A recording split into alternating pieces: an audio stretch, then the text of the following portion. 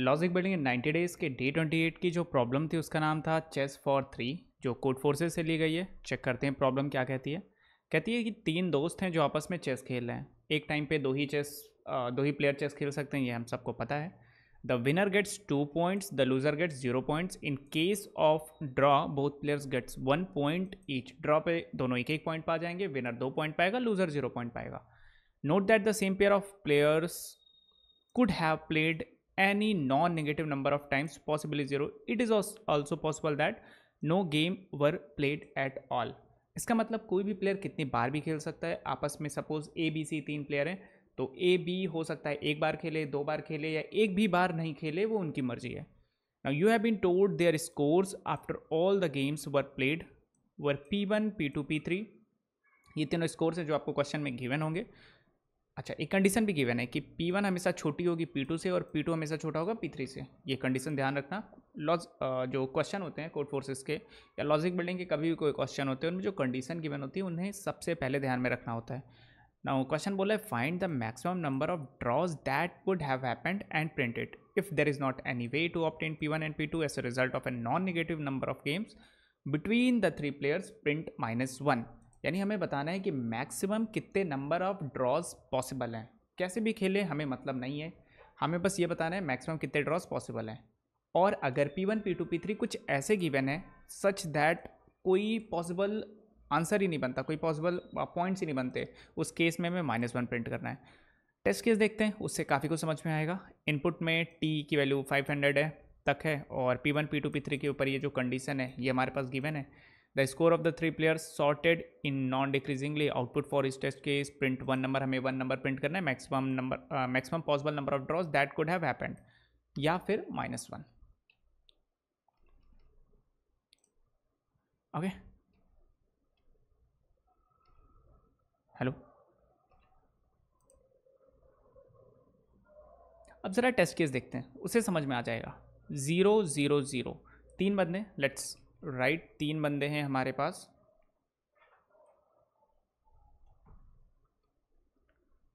तीन बंदे हैं अपना P1 है P2 है P3 है नाम आप कुछ भी ले सकते हो अपनी मर्ज़ी से।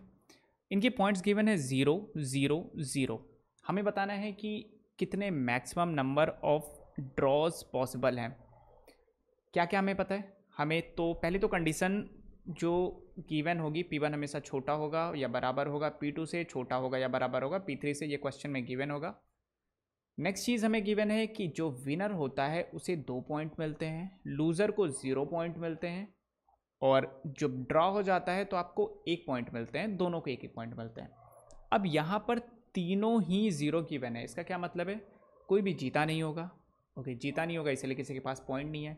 अब कोई भी जीता नहीं है, इसका एक ही केस हो सकता है कि कोई भी मैच खेले नहीं गए हैं ज़ीरो मैचेस हुए हैं और ज़ीरो ड्रॉज ही पॉसिबल हैं ओके सो हमारा आंसर ज़ीरो आ जाएगा। ना एक केस लेते हैं ज़ीरो वन वन का। यहाँ हम एनालाइज कर सकते हैं ओके पी थ्री का एक पॉइंट है, यानी पी थ्री एक ड्रॉ कर सकता है, ठीक है? पी टू के पास एक पॉइंट है, यानी पी टू भी एक ड्रॉ कर सकता है। तो क्यों ना पी टू पी थ्री के साथ एक मैच खिलवा लिया जाए और दोनों को ड्रॉ करा दिया जाए एक एक पॉइंट दोनों को मिल जाए और पी वन अकेला, बेचारा अकेला रह जाए और मैक्सिमम नंबर ऑफ़ ड्रॉज कितने पॉसिबल हो जाएँगे? वन जो कि हमारा आंसर होगा वन थर्ड केस देखते हैं.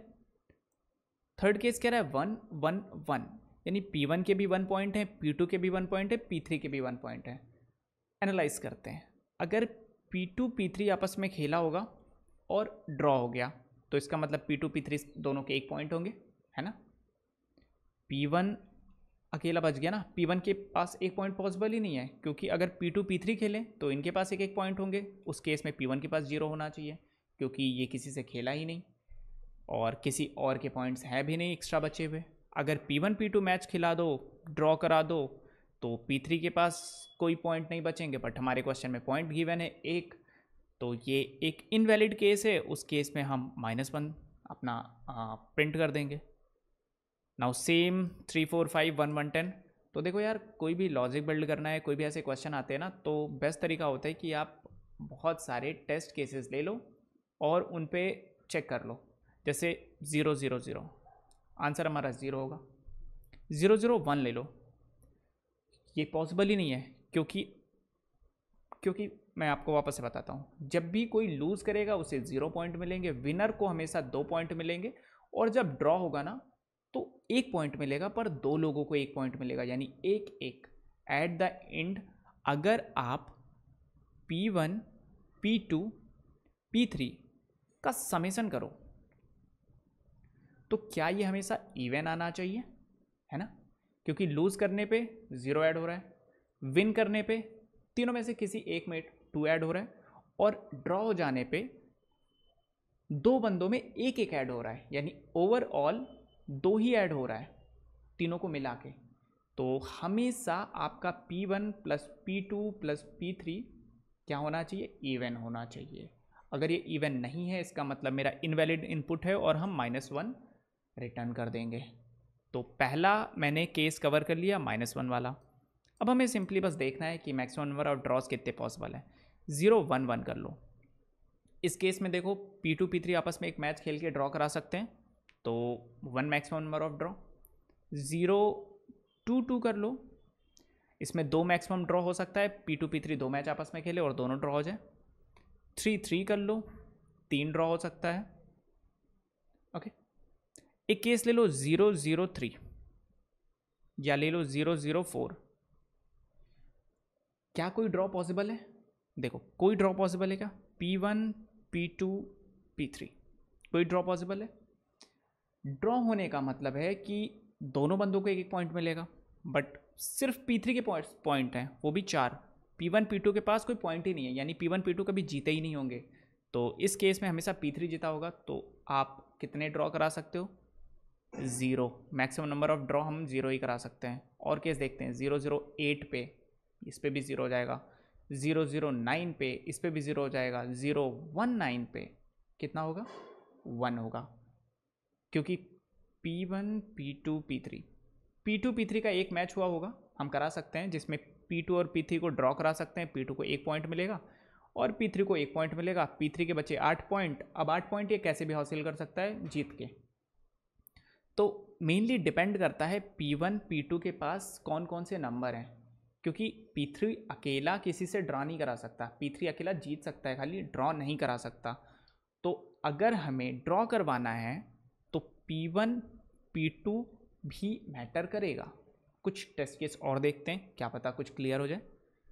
टू फोर ट्वेल्व ध्यान से देखना टू फोर ट्वेल्व क्या पी वन पी टू को सम देखो तो यहाँ पे सिक्स है? क्या पी वन पी थ्री से सारे मैच ड्रॉ करा सकता है और पी टू पी थ्री से खेल के सारे मैच ड्रॉ करा सकता है। यानी पी वन पी थ्री आपस में दो मैच खेल लिए। दोनों ड्रॉ करा दो। पी वन को दो पॉइंट मिल गए पी थ्री को दो पॉइंट मिल गए। फिर पी टू पी थ्री का चार मैच करा दो। ड्रॉ करा दो सारी। पी टू को फोर पॉइंट मिल गए। पी थ्री को अभी फोर पॉइंट मिल गए। फोर टू सिक्स बचे इसके पॉइंट एक्स्ट्रा सिक्स और इस सिक्स पॉइंट को आप पी थ्री किसी से भी करा के पी थ्री को तीन मैच जिता दो और पी थ्री के पास सिक्स पॉइंट आ जाएँगे। ठीक है? टू फोर टेन इसमें भी आप छः ड्रॉ करा सकते हो maximum P one P one P two हमेशा पी थ्री से खेल के ड्रॉ करा सकते हैं। थोड़ा और छोटा लेते हैं। टू फोर सिक्स अभी भी पॉसिबल है। सिक्स टू फोर फाइव ये तो इनवैलिड केस हो गया। टू फोर फोर लेते हैं। अब कितने पॉसिबल हैं? ये देखो। अब कितने पॉसिबल हैं? Four four eight two ten अब आप देखोगे मैक्सिमम फाइव ही पॉसिबल होंगे। कैसे? ये पी वन एक इससे मैच खेलेगा, एक इससे मैच खेलेगा, दोनों ड्रॉ करा देगा। तो इसके बाद हुए दो पॉइंट और ये दोनों एक एक पॉइंट पाएँगे, बचे तीन तीन पॉइंट और पी टू पी थ्री आपस में तीन मैच खेल के ड्रॉ करा सकते हैं, और इनके भी तीन पॉइंट यानी टोटल फाइव पॉइंट मैं क्या समझाने की कोशिश कर रहा हूँ वो देखना। जो मेरा P one P two P three का स्कोर है। अगर पी थ्री का स्कोर बहुत ज़्यादा है, बहुत हाई है ओके तो पी वन पी टू हमेशा एक एक मैच खेल के पी थ्री से ड्रॉ करा सकते हैं, ठीक है? कितना हाई है, ये देखना है। टू फोर सिक्स करा सकते हैं। टू फोर एट छः मैच छः match two four ten two four twelve छः मैच हो सकते हैं, हर जगह छः मैच हो सकते हैं। कहाँ नहीं हो सकते? टू फोर सिक्स पे हो सकते हैं? बिल्कुल सही। क्या टू फोर फोर पे छः मैच हो सकते हैं? नहीं हो सकते। यानी अगर P3 की वैल्यू बड़ी है या बराबर है P1 वन प्लस पी से तो P1 वन प्लस पी हमेशा एक एक मैच P3 से ड्रॉ करा सकते हैं और वही मेरा मैक्सिमम नंबर ऑफ़ ड्रॉ होगा। दो केस हो गई। पहला इवन वाला केस निकाल लिया कि अगर वो ऑड है तो सिंपल रिटर्न में माइनस वन कर दूँगा। अगर ऐसा नहीं है तो मैं चेक कर लूँगा P one plus P two अगर छोटी है या बराबर है पी थ्री से तो P one plus P two का जो भी समेसन होगा, वो मेरा आंसर हो जाएगा। ओके थर्ड केस देखते हैं। अगर ऐसा नहीं है, यानी P one plus P two की जो वैल्यू है, वो पी थ्री से छोटी या बराबर नहीं है, बड़ी है इन द सेंस तो उस केस में हम कैसे देखेंगे? P one P two P three two and six eight इस केस में आप देखो कैसे कर सकते हो। आपने इस टू को लिया, दो मैच इनसे ड्रॉ करा दिया तो दो ड्रॉ हो गए। इसके पास अब रिमेनिंग बचे छः point P two P three साथ में छः पॉइंट कर सकते हैं। टोटल आठ ड्रॉ हो सकते हैं मैक्सिमम ओके यहाँ पे आठ ड्रॉ हो गए। इनका समीशन देखोगे तो कितना है? सिक्सटीन है। ड्रॉ कितने हैं? आठ हैं। वापस एक और केस देखो। फोर सिक्स एट अभी कितने ड्रॉ हो सकते हैं? पी वन मेरा कितने मैच खेलेगा? यहाँ से दो मैच खेलेगा पहले। तो इसके हुए दो पॉइंट, इनके और छः पॉइंट बचे अभी। अब अब P one P two P three देखो। P one P two P three P one ने दो मैच खेल लिए पी वन के पास दो पॉइंट हो गए पी थ्री के पास भी दो पॉइंट हो गए। पी टू के पास छः पॉइंट थे अभी रिमेनिंग और पी थ्री के पास अभी रिमेनिंग छः पॉइंट्स थे और पी वन के पास अब रिमेनिंग ज़ीरो पॉइंट है। अब पी टू पी थ्री आपस में छः मैच खेल सकते हैं। तो टोटल कितने? छः दो, आठ। और टोटल कितना हुआ? आठ चार बारह छः अठारह नौ। टोटल नौ आपके आंसर आएँगे। तो कभी भी आप देखोगे ना कि अगर P one plus P two P three से बड़ा है तो फिर बहुत कुछ पॉसिबल है। क्या पॉसिबल है? ये पॉसिबल है। P one plus P two plus P three divide by two ये मेरे टोटल नंबर ऑफ़ ड्रॉज हम निकाल सकते हैं। कैसे भी आपस में कॉम्बिनेशन बिठा सकते हैं बहुत सारे तरीके हो सकते हैं बट एट द एंड हम P one plus P two plus P three divide by two यानी जितने भी पॉइंट्स हैं उतना ड्रॉ करा सकते हैं उसका हाफ़ टाइम ड्रॉ करा सकते हैं ताकि उसका डबल हमें पॉइंट मिल सके। सो so, ये है मेरा पूरा लॉजिक सिंपल अगर मैं आपको यहाँ कोड मैं कोड आपको प्रोवाइड कर दूँगा। ये वीडियो काफ़ी लंबी हो गई है इस वजह से मैं सिंपल बस आ, आपको बस यहाँ पे लॉजिक बता रहा हूँ कि अगर P1 one plus P two plus P three ये वैल्यू ऑड है तो आंसर है माइनस वन अगर इवन है तो दो केस हो सकते हैं। P1 one plus P to मेरा छोटा है या बराबर है P3 के। उस केस में P1 one plus P two P one सारे मैच ड्रॉ करा सकता है P2 सारे मैच ड्रॉ करा सकता है तो P1 one plus P two answer हो जाएगा। वरना सब कुछ पॉसिबल है। अगर ऐसा है ऐसा है। तो बहुत सारे केसेस पॉसिबल हैं और टोटल नंबर ऑफ़ ड्रॉ कितने हो जाएँगे? P one plus P two plus P three and divide by two so यह पूरा लॉजिक कोड मैं आपको प्रोवाइड कर दूँगा। पहले खुद से ट्राई करो कमेंट में लिख दो, जिसको भी कोड चाहिए। Python Java C plus plus JavaScript किसी भी लैंग्वेज में। बट मैं अभी कोड नहीं प्रोवाइड कर रहा। आप खुद से ट्राई करो अपनी अपनी लैंग्वेज में कोड लिखो। हो जाए, मुझे बताना। किसी को कोड चाहिए कमेंट में लिख देना। मैं कोड प्रोवाइड कर दूँगा उसकी लिंक मिलते हैं अगले वीडियो में नए डे के साथ, तब तक के लिए बाय बाय